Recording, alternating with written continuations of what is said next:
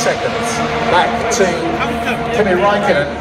who uh, now has a second advantage over Sergio Perez, uh, who in turn has